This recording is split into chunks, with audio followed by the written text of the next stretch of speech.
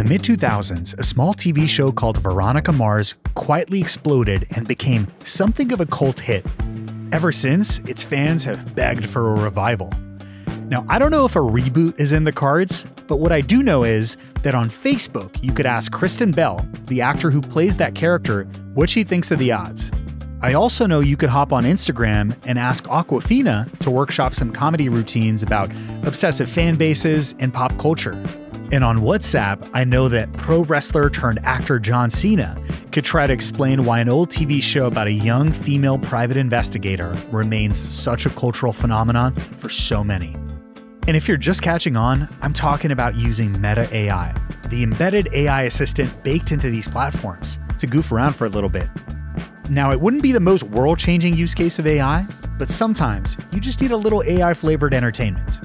And Meta is more than happy to entertain you on its social platforms. In late September, the company announced that now you can voice chat with its AI assistant instead of just typing. And Meta AI can borrow the voice of one of these celebrities, as well as Keegan Michael Key and Dame Judi Dench. Meta also said that their chatbot can now speak multiple languages, and that it's also multimodal in that it has the ability to understand and transform images that you might show it. Now, it's all fun and games to be sure, but these type of features are table stakes now.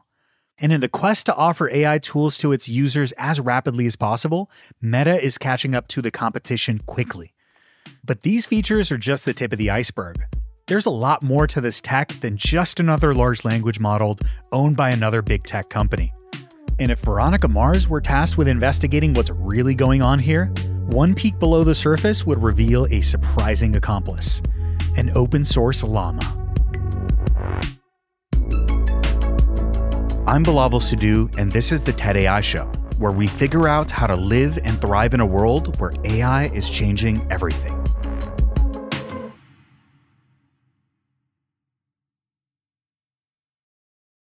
Hi, I'm Bilawal Sidhu, host of TED's newest podcast, The TED AI Show, where I talk with the world's leading experts, artists, journalists to help you live and thrive in a world where AI is changing everything. I'm stoked to be working with IBM, our official sponsor for this episode. In a recent report published by the IBM Institute of Business Value, among those surveyed, one in three companies pause an AI use case after the pilot phase. And we've all been there, right? You get hyped about the possibilities of AI, spin up a bunch of these pilot projects, and then crickets. Those pilots are trapped in silos, your resources are exhausted, and scaling feels daunting. What if, instead of hundreds of pilots, you had a holistic strategy that's built to scale? That's what IBM can help with.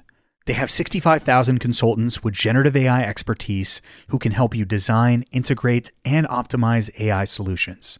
Learn more at ibm.com/consulting. Because using AI is cool, but scaling AI across your business, that's the next level. Are your digital operations a well-oiled machine or a tangled mess? Is your customer experience breaking through or breaking down? It's time for an operations intervention. If you need to consolidate software and reduce costs, if you need to mitigate risk and build resilience, and if you need to speed up your pace of innovation, the PagerDuty Operations Cloud is the essential platform for operating as a modern digital business. Get started at pagerduty.com. Teams with big ideas start in Jira, the only project management tool you need to plan and track work across any team. Jira even helps our team here at TED, keeping us in sync to deliver the big ideas our listeners love. And there's a lot more that teams will love about Jira. It keeps cross functional tasks organized with a project's timeline. That's always really key so that we make our deadlines. And cross functional teams like TED working in one tool gives leaders the important visibility they need to make better business decisions. Get started on your next big idea today in Jira. Llama is the name that Meta gave its own large language model. It's an impressive LLM, trained on over 15 trillion tokens of publicly available information.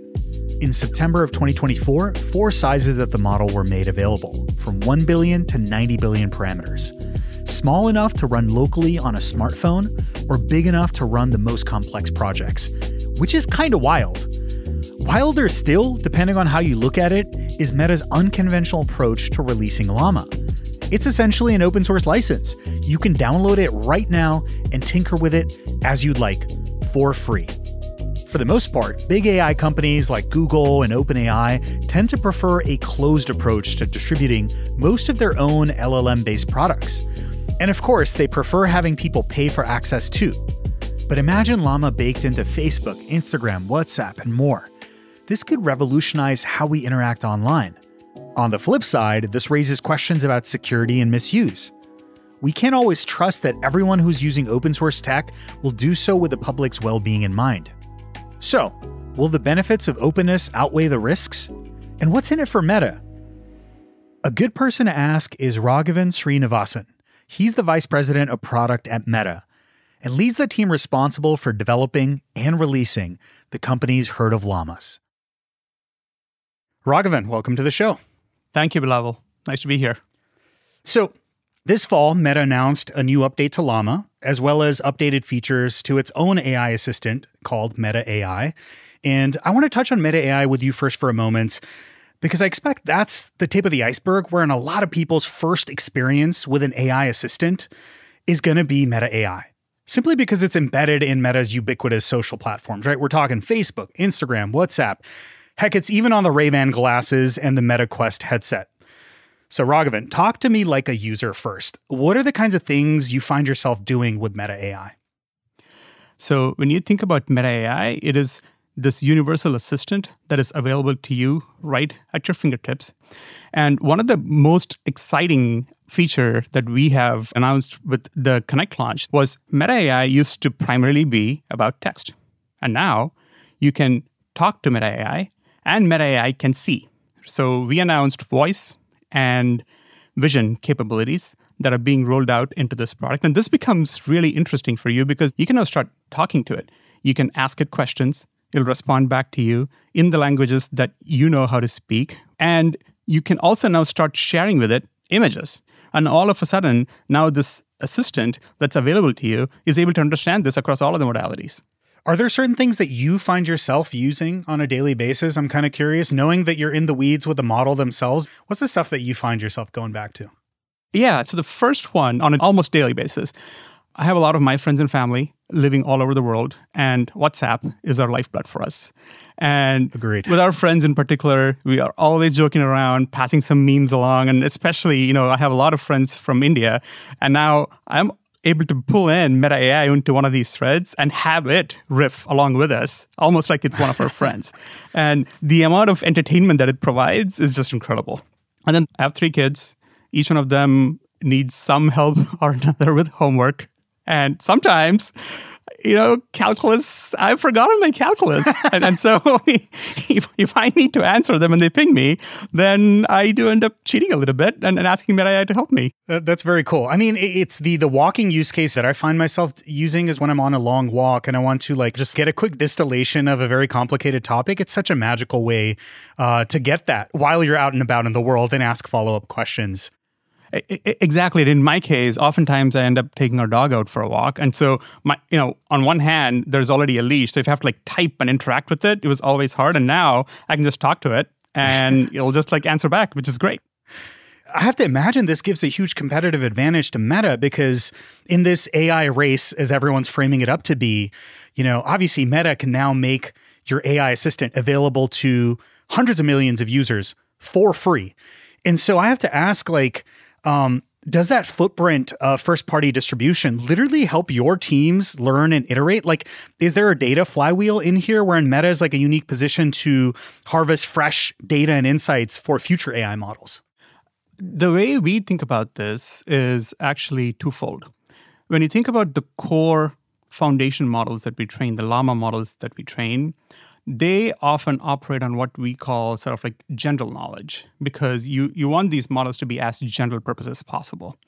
And then over time, as you build these models, we then start working really closely with our product teams for them to be able to take the next generation of these general purpose models and then start to specialize them and fine tune them for their needs. And so they end up deploying customized versions of Llama through Meta AI and that's what our end users see. So what then ends up happening is when you're out and about walking, you're able to quickly get feedback signals on like, was this translation that I just gave you helpful? Was it not? And these kinds of small but very effective at scale sort of feedback loops can help us ship a very compelling product experience. Do we use that to learn back into the models? Not as much as you might imagine, primarily because the core model itself is really focused on this notion of general knowledge. However, the product experience start to become a lot more um, improved because we now have tighter feedbacks, uh, feedback loops to be able to say, okay, this set of conversations in this market probably are not jiving well with people. So we need to improve them in a certain way. And we have a different sort of like feedback loop for those models, if that makes sense. So it's it's almost like you've got these general purpose models, but when you get into these task specific use cases, you are able to mine some very interesting signals that help you refine those models for those specific applications. Exactly. And, and this is something that, you know, we've done even before Gen AI. So if you think about Facebook translations as an example, right? Translations are an incredibly powerful feature even today. When, when, a lot of people come to our apps, they don't necessarily speak the language, but they're really interested in understanding what's happening around the world. And we have amazing AI systems that are providing these translations, but you know, there's always going to be a translation that may not be exactly colloquially right. It may not pick up the latest, you know, again, like bringing up my kids, they use language that I'm like trying to figure out, like, what did you actually mean when you use that word? right, right. Are, are, you asking Meta AI to help you translate the latest slang? I, I, I, totally am. And, and, and I, I, try to get Meta AI to make lame dad jokes. Maybe that's the other use case I should have told you about. But um, but but that's the kind of like um, cultural zeitgeist that you really want to be able to tap into, and that happens by us getting feedback from our users in real time and then improving our products.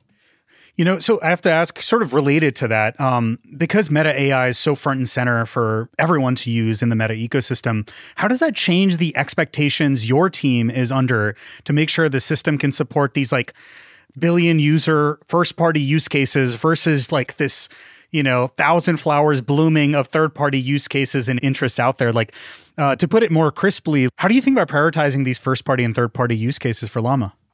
Yeah. Um, is a great question. And as someone that is responsible for sort of the roadmap for Llama, it is something that is very top of mind because, you know, with Llama, we have at the highest level three goals as a team that we try to pursue. First and foremost is Meta as a company being at the forefront and trying to be the leader in getting making progress towards AGI. And so Llama is our vehicle towards making progress towards AGI. Now that's a long-term goal it is a long term goal. How does Meta think about AGI? Yeah, good question. And I kind of walked myself into that, didn't I? so um, AGI, you know, as, as people might know, is artificial general intelligence. And there isn't really like a set definition for what AGI is across the industry. For us at Meta, what we think about are systems and artificial intelligence systems that are able to perform at superhuman level capabilities in helping humans stay more connected and providing more utility and value for them. So we imagine this to be a state where humans and these artificial intelligence systems and agents are working closely together to further entertainment, to further social uh, utility, to further economic prosperity, right? So that's sort of like the vision that we have from from Meta's perspective. And so a big focus for us in the long run as a company and also as a Llama team is how do we keep steadily moving and making progress towards AGI? Second goal that we think about is how do we make sure that on an ongoing basis we deliver the best possible capabilities of the Llama model to the vast user base that is served by Meta. And so this is where your question around, okay, how do you make sure that you prioritize what your product team needs really comes into play? Because when we charted our path towards AGI, that can be more of a research roadmap. But when you then say, okay, what is the milestone that you want to be able to hit? Not only do you have a research milestone in your head, you're also starting to think about what are the products that we want to be able to ship across software and hardware. And then the third goal that we talked about, as you know, Llama is open source. And so a big responsibility for us is also then to understand from the community's perspective what is it that they're going to need so that we can pack all of these across a set of prioritization criteria that we as a team, as a Llama team, have to think about. And then you try and come up with a roadmap. So that's sort of the, the three vectors, if you will, that we think about when we set goals for Llama. You know, it's interesting. I mean, there are companies that have raised, you know, maybe a billion dollar seed round to go headfirst towards AGI and some sort of super intelligence. Does that dual focus of having this research agenda, but also regularly shipping product, does that create pressure or is it exciting? I imagine it's kind of like there are two these opposing constraints that you need to balance. What does that does that feel like in practice? Uh, so actually, uh, it, it, it, we don't look at this as as opposing constraints in, in a lot of ways. In, in in many ways, it's almost proof points and really important milestones to say, okay, the progress that you're making from a pure research perspective is also delivering value hmm. to humanity as you make this progress. And and so in, in in a lot of ways, we look at this as exactly the tension we need to be able to have because if you think about how technology has historically evolved. And, and from a product perspective, you start by saying, what is a consumer problem that exists in the world today? And can I invent technology to be able to go solve that problem? That's sort of the traditional way to do product. That's right. Yeah. The other way to do product, which is, you know, anytime you have one of these platform shifts, is like, here comes an amazing new technical capability. Does that allow you to solve a problem that you previously were not able to solve? Or does it actually open up completely new opportunities for you to go and serve people that you were not able to do before? And so with Llama, we actually have the opportunity to be able to do both. And so that is the balance that we need to be able to strike. So when we think about the next versions of Llama, we think about okay, um, Llama used to be only text. Now, Llama needs to become multimodal because as you think about progress towards AGI, these models need to be understand and communicate in all of the modalities that we as humans are able to. We don't just use text, you know, we use images, we use videos, you know, talking now, there's audio, right? So so then you start to say, cool, what do our product teams think they need? Do they think like image understanding is going to be more important than video understanding for some reason? So, if that's the case, then let's actually figure out how you construct this milestone that balances both what we think we can get in the hands of consumers through our products and make progress towards AGI. So, that's sort of the balance that you have to do with every release. So, let's take a step back for a second here. Meta AI is built on Meta's own large language model called Llama. Why is it important for Meta to build its own foundational models rather than, say, partnering with another tech company? Like, for example, what Apple is doing with OpenAI and Google. They seem to be building their own smaller models, but they still seem to be leaning very heavily on third party providers. But Meta is building the full stack. Why? Really good question. First and foremost, if you think about this notion of artificial general intelligence and large language models being the the vehicle through which you're going to experience artificial general intelligence, you get to make a lot of choices in terms of what goes into these capabilities, what goes into these models, the kinds of capabilities that you actually want to build into them. Do you want them to understand multiple languages, or do you want them to only understand, say, a, a handful of languages, just as an example? Do you want them to be able to speak to you? Do you want them to be able to speak to you using your own dialects? So as you start to like think about the kinds of utility that this technology needs to provide, there are a lot of choices that you end up making where as a as an organization, as a company like Meta, where the surface area of our product base and our user base is so vast, you have to have the ability to really shape how this technology moves and also the rate at which the technology moves, as well as the prioritization of a lot of these capabilities at which this technology moves. So that's sort of the first reason. The second reason is when you think about how technology ecosystems generally have evolved, they start with maybe one or two closed, proprietary, vertically integrated ecosystems.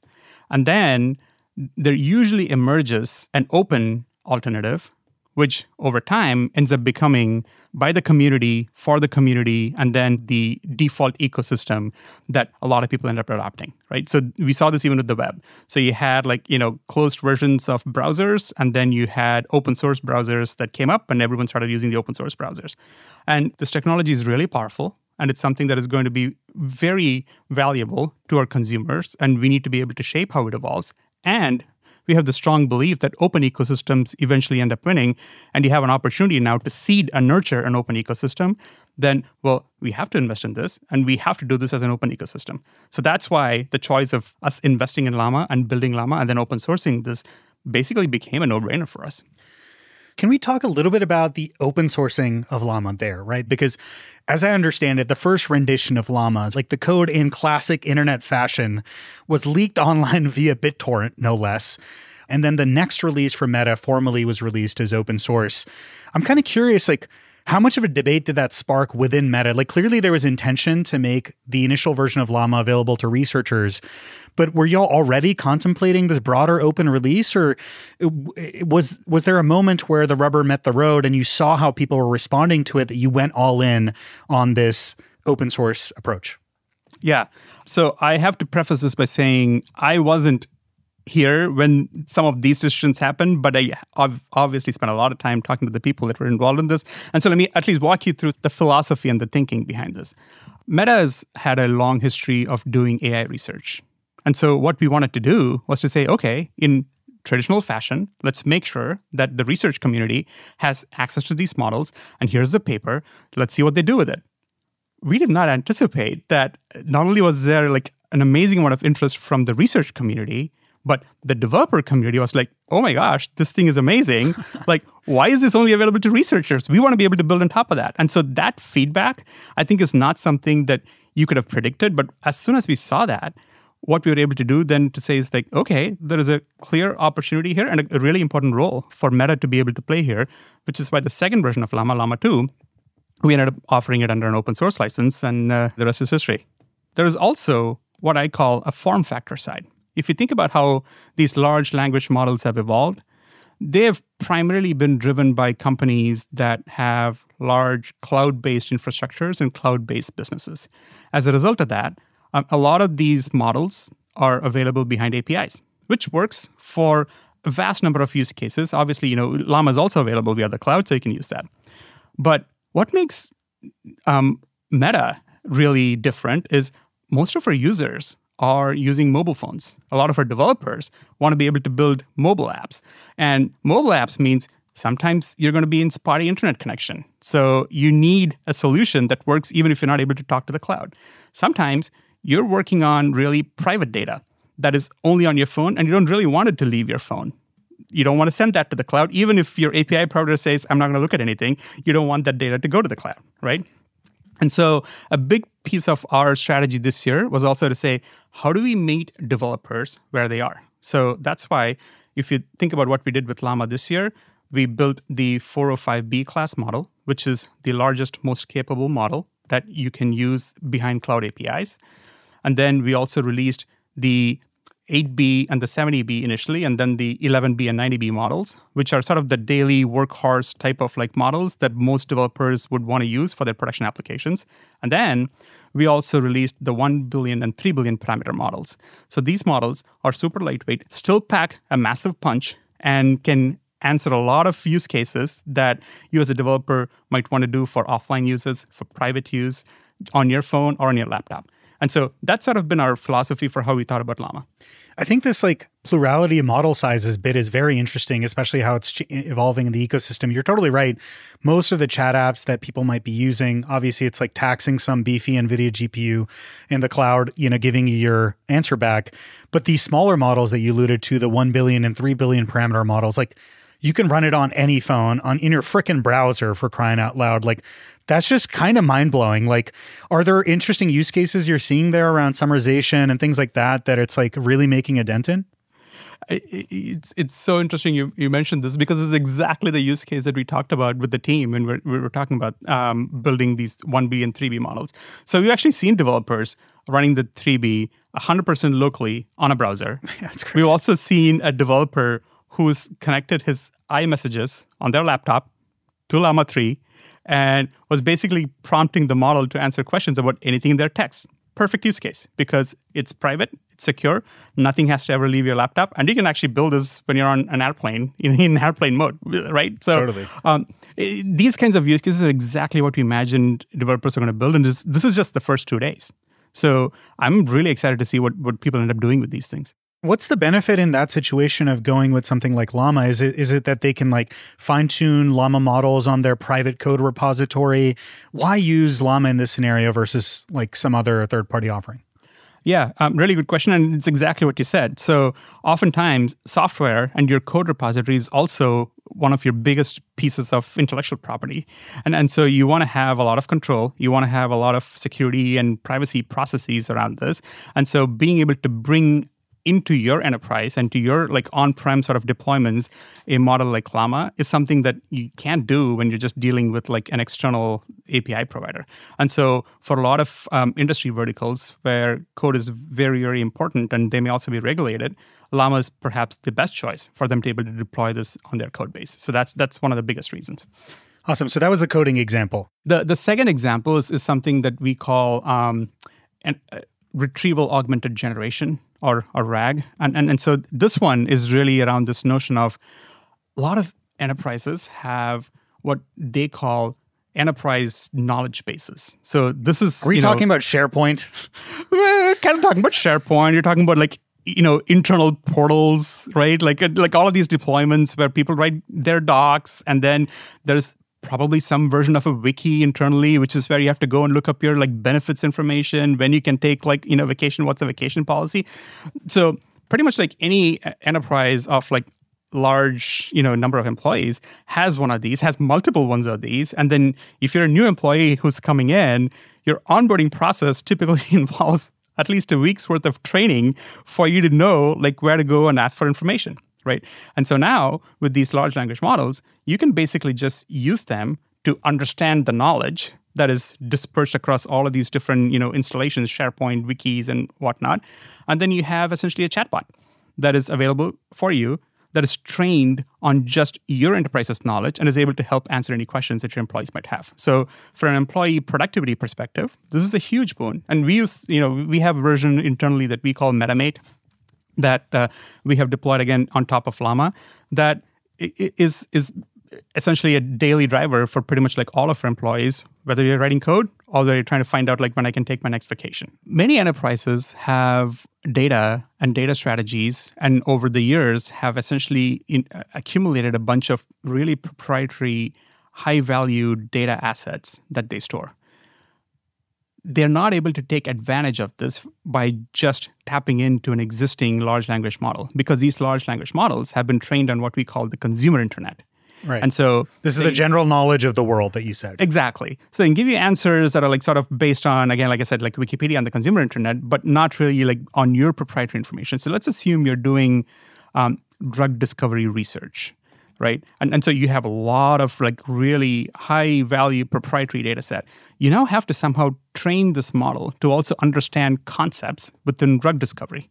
Um, what does it mean to, to understand a protein sequence? What does it mean to understand like what isotopes are, right? These are concepts that the model may understand at a very high level, but it's probably not going to be as localized. And so then what you need to do is to go through this process of what we call fine tuning, where you take a general purpose model, and then you give it data that is your proprietary data to teach it these concepts and so that it can start to perform the tasks that you need for your application. You still want the benefit of this large general purpose model, but you also wanted to understand these concepts. That's something that is now going to require you to tweak the weights of the model. Weights are basically how the model makes decisions on like, you know, which um, answers to give you, uh, for, for lack of a better way to, to describe it.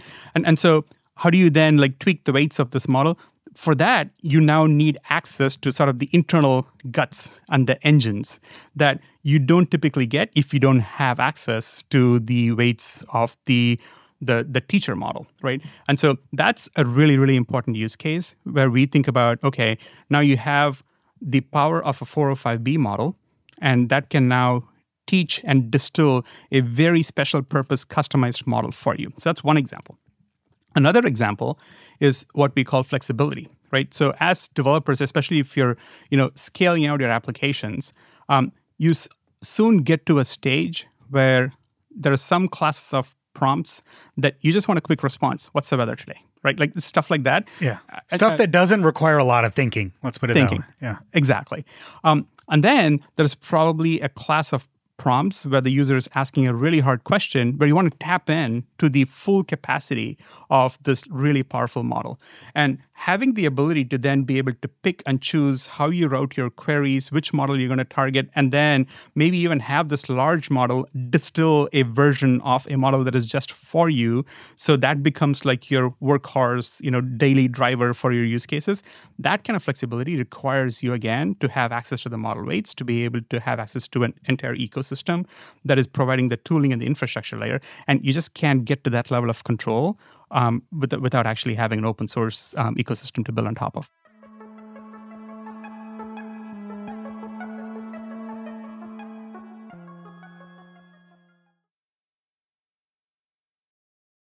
This show is sponsored by BetterHelp.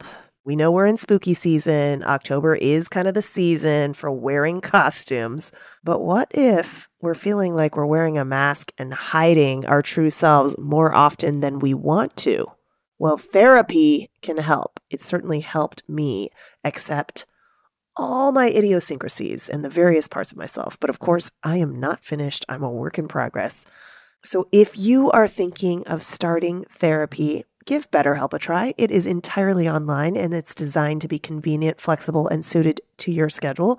Take off the mask with BetterHelp. Visit betterhelp.com slash TEDAI today to get 10% off your first month. That's betterhelp, H-E-L-P dot com slash TEDAI. Does your AI model really know code? Its specific syntax, its structure, its logic? IBM's Granite code models do. They're purpose-built for code and trained on 116 different programming languages to help you generate, translate, and explain code quickly. Because the more your AI model knows about code, the more it can help you do. Get started now at ibm.com/granite. IBM, let's create.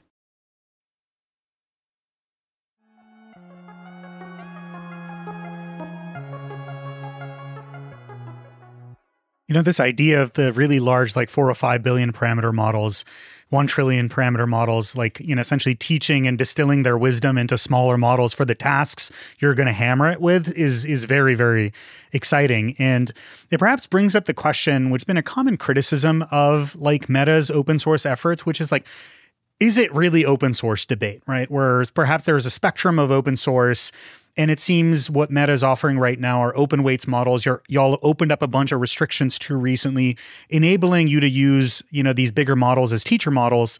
Um, what does Meta mean by open source in this case? Look, this is obviously an active discussion, active conversation um, in the broader community. Um, I, think this notion and this idea of open source also has gone through its own sort of like evolutions and changes, right? And so I think we are at a moment right now where there's a completely new type of technology. Open source, in many ways, was defined with the notion of software in mind. Models are, and, and these like uh, large language models and the systems around them are a composition of software, data, and this like other entity or artifact that's that's basically just a bunch of weights. And so I think one of the things that we as a community have to now figure out is like, what does open source in this new world actually mean? And I, think over time we're going to figure these things out. We we, uh, we also have different flavors of this that have happened um, in the past. When you think about content as an example, we tried to apply this notion of like open source to content, but it didn't quite fit. And so then we came up with Creative Commons, mm. right? So hmm. Creative Commons, well, now if you think about this, is equivalent to open source, but in, it is very in tune with the notion that content is just inherently different from software. And so you probably need a different way to say, okay, this is for the community, this is by the community, here's what you can use it for, here's what, if you use it, here's how you attribute it. So my uh, expectation is that as a community, we're going to come together again, as we always do, and say, okay, this thing is different. So for this different thing, what are the values, what are the principles that we want to be able to protect, and what are the definitions that allow us to do that? For right now, at least, the ability for you to have access to the model weights and then our definition of things like the llama stack that give you a very open api that allow you to expand. And as these conversations happen you can believe that we're going to be at the middle of this and we're going to try and shape and, and evolve this as it goes forward It's a tremendous, like, I, I would say it's like this public commons that Meta is giving to the world. Uh, but of course, there's a cost associated with that. And while Meta hasn't disclosed any costs, it's been reported that the amount of GPUs that y'all have used for AI development and training, like in post training and fine tuning, all that adds up to certainly hundreds of millions of dollars of investment. What is the amount of computation power here even look like? Like, can you paint a picture for us of what the back end of a project this size physically looks like? I'm imagining a Borg cube in some metadata center.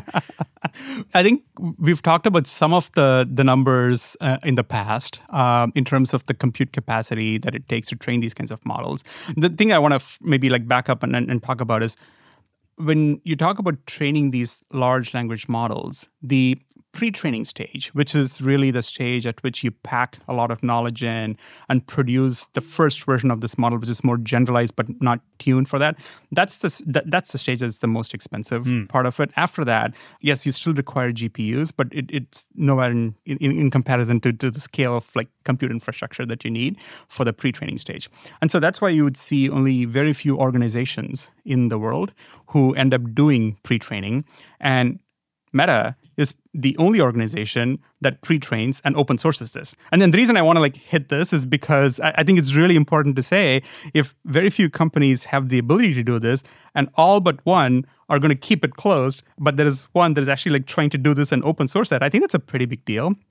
So when we think about the investment that we put behind and how large these like compute infrastructures are, that calculus also goes into sort of like why we think this is the right thing to do. Because not only are we building this for Meta, we're also building this in many ways for for open sourcing it and having the community access it. So now to your question of like, what do these data centers look like?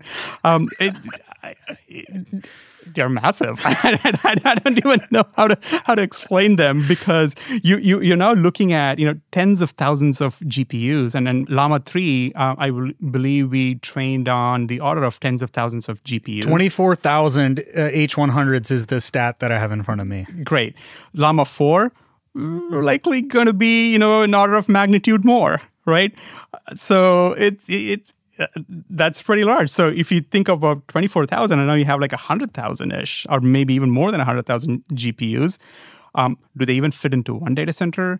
Because you really do want them like to be as close as possible to help with the training um, have, efficiency. Have really fast right? interconnects, right? Ex- exactly. And now it, this is not just a, a, a, hardware problem, it's a physical infrastructure problem because you now have to construct data centers. You now have to find a way to power them and then cool you have them. to find a way to cool them. Exactly. Yeah. But I have to ask, like, with this level of investment, right? And it is like admirable. It's also, you're totally right. You're the only lab that's really open sourcing these very large, expensive training runs. How does a company measure the ROI, the return on investment for these open source AI initiatives? So, we fundamentally just believe that open sourcing is good for developers. Obviously, we've covered that in spades.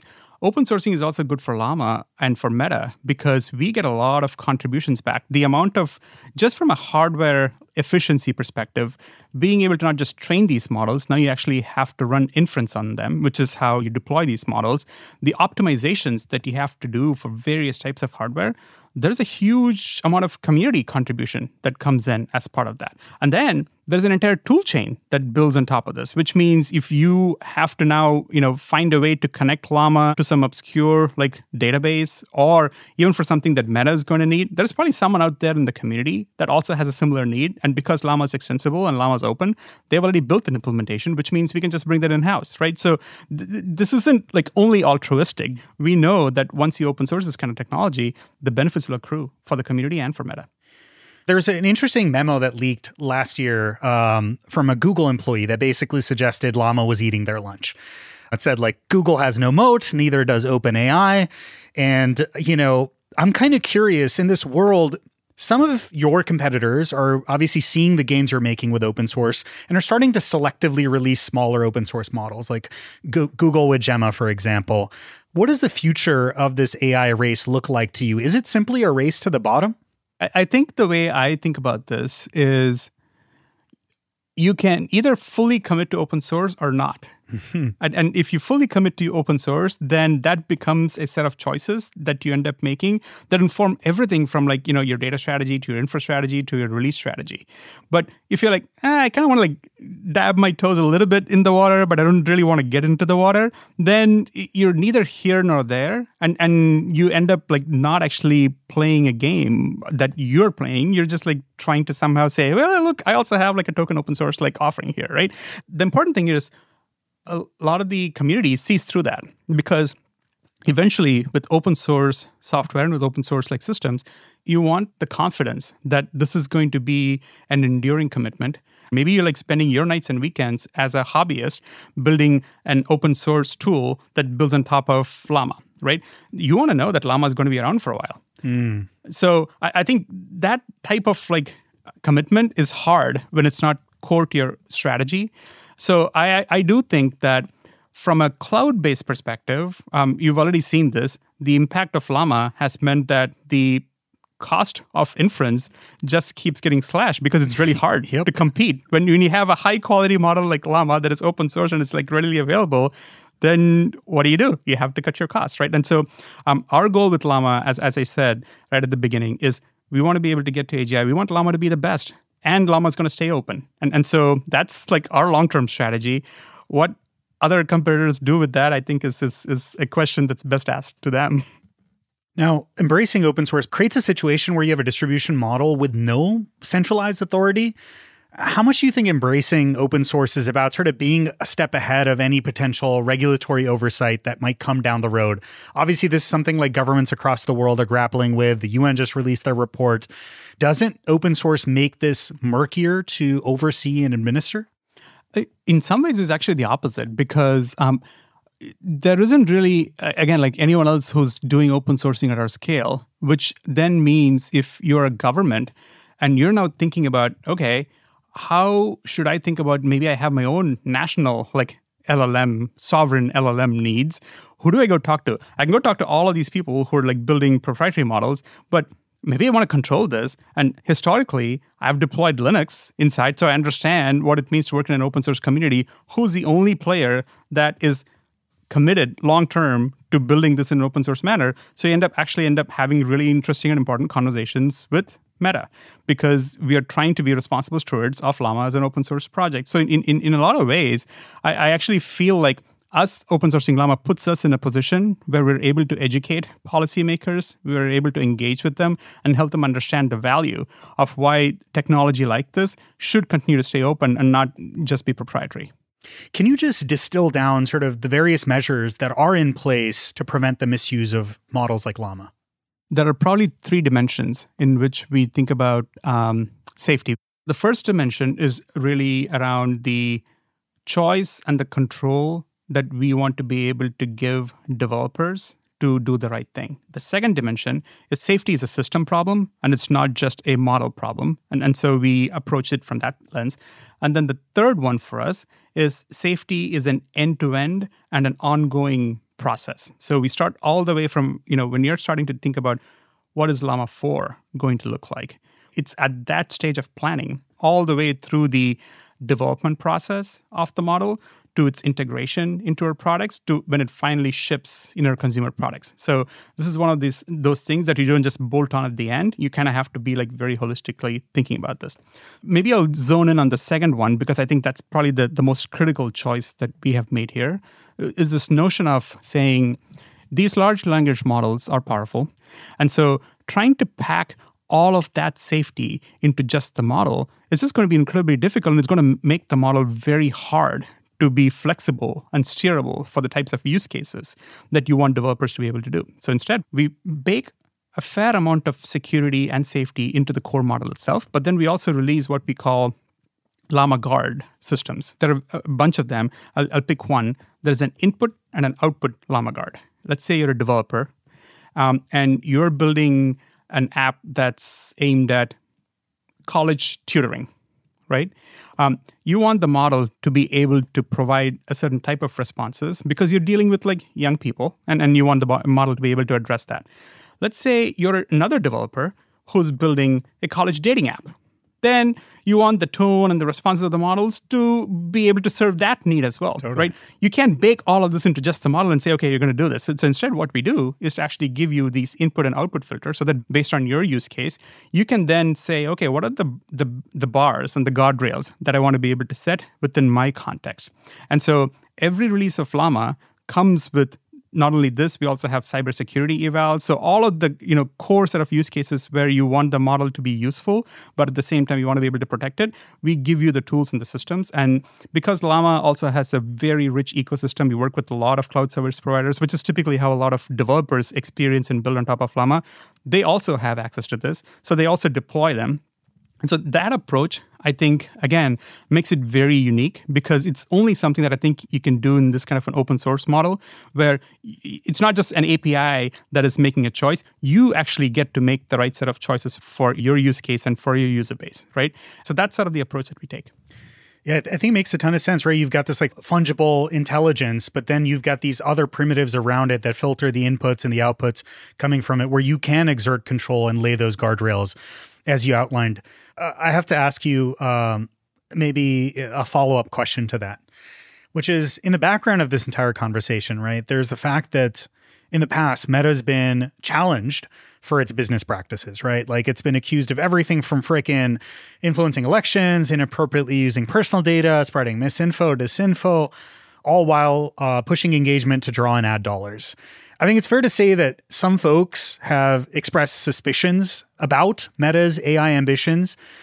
What's your answer to anyone who might ask this question, which is like, why should we trust Meta with our AI future? Yeah, uh, look, this is an important question, and, and it's something that we obviously take very seriously because ultimately, I think all of us who are at Meta believe that when you build compelling product experiences and you build compelling product experiences that give people the choice and control, you earn their trust. Without their trust, you're not going to be able to build something that is going to be enduring and it's not going to be something that people keep coming back to. Obviously, we've made you know our fair share of mistakes, but we've also worked through them.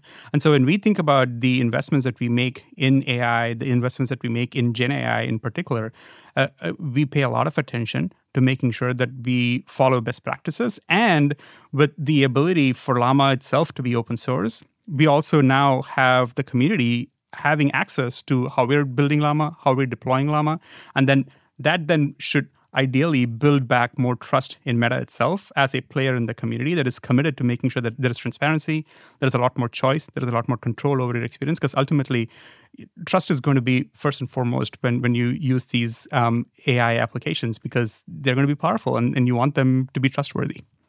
As you think about the future iterations of models, like what what comes to your mind as this sort of like North Star use case for where you're taking Llama?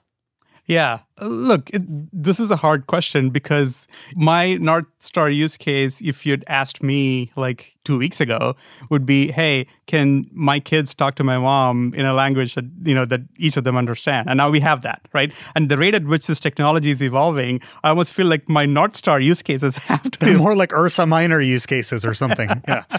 exactly, exactly. Because I, I actually do think there are a lot of things that we showed even in some of our Orion um, demos, where the the seamless integration of um, augmented reality and these glasses with AI is really going to create things that we've only seen in movies. So to be able to have like this kind of like holographic like conversation with someone, it's still only stuff that's made of movies, right? And and so I'm like, okay, like that would be really cool. So those are kinds of maybe the the more um, not just two week like North Stars, but the you know the longer term North Stars. I think that's just going to be such a huge advantage for y'all having these like billion user surfaces where people are going to be engaging with this stuff every day. And then this thriving open source community with enterprise partners, but also indie hackers. People listening to this may not realize how easy it is to just go download LM Studio and start running Llama locally. And it's kind of wild. Like things that felt so out of reach just a year ago are like incredibly accessible and running on my freaking MacBook Pro. Um, I want to ask you, like, given Meta's really unique position at this intersection of social media, open source AI now, and really global communications, what are you excited for over the next decade and what keeps you up at night? Yeah. Um, what am I excited about and what keeps me up at night?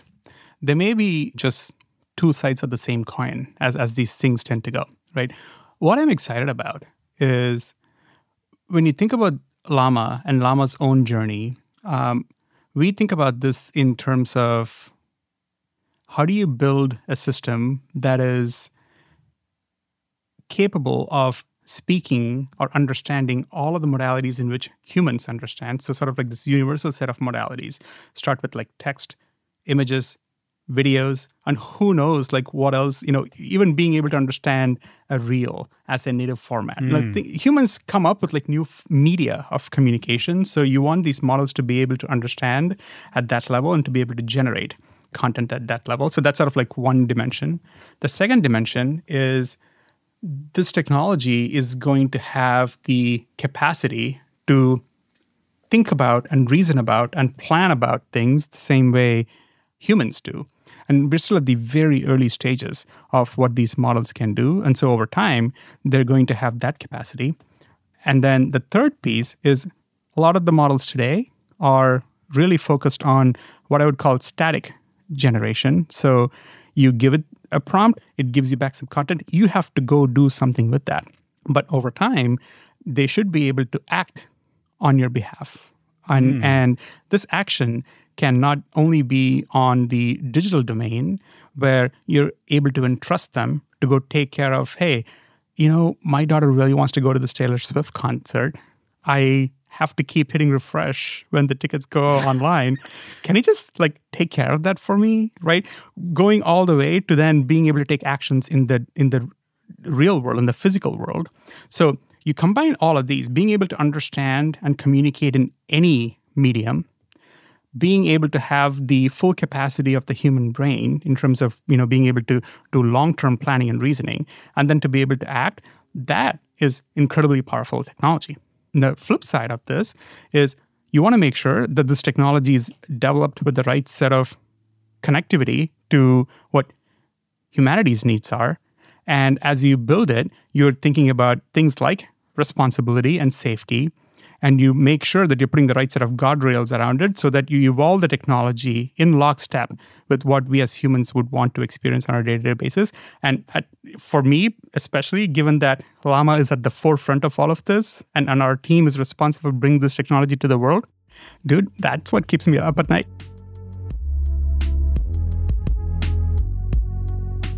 All right so it's encouraging to hear that one of the key people involved in developing and releasing Llama to the world spends a lot of time thinking about how to build a system that is responsible and safe.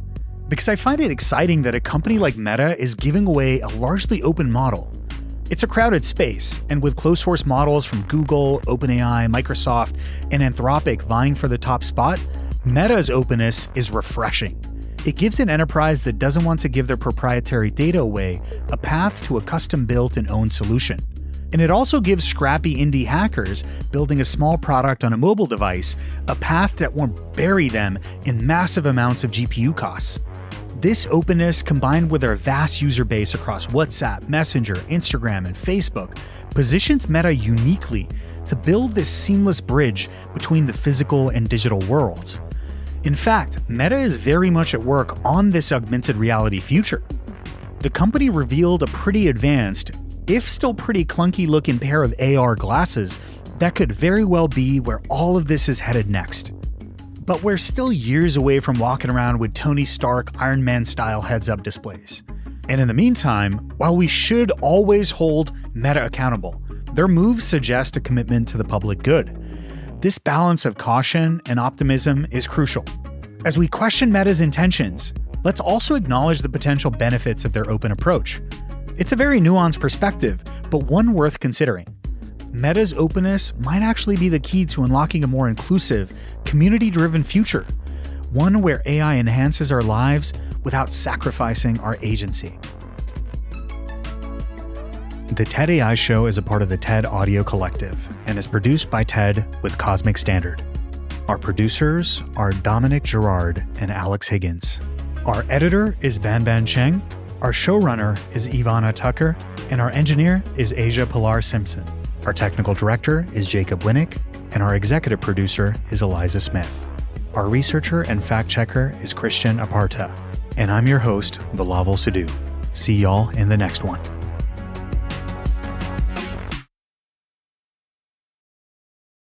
Support for this podcast comes from Odoo. Imagine relying on a dozen different software programs to run your business, none of which are connected, and each one more expensive and more complicated than the last. It can be pretty stressful. Now imagine Odoo. Odoo has all the programs you'll ever need, and they're all connected on one platform. Doesn't Odoo sound amazing? Let Odoo harmonize your business with simple, efficient software that can handle everything for a fraction of the price. Sign up today at odoo.com. That's O D O O.com.